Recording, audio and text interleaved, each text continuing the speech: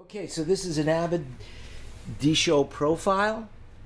It's moderately clean. I would say that with a, except with a little bit of dirt, but everything looks good. Faders all move very smoothly.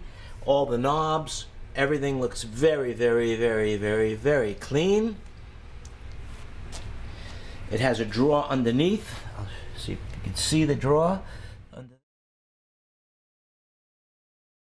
Here, it has the umbilical cords. It has two little lights, and we have some power as well. So all your plugs, everything is here. It's looking good. And there you have it.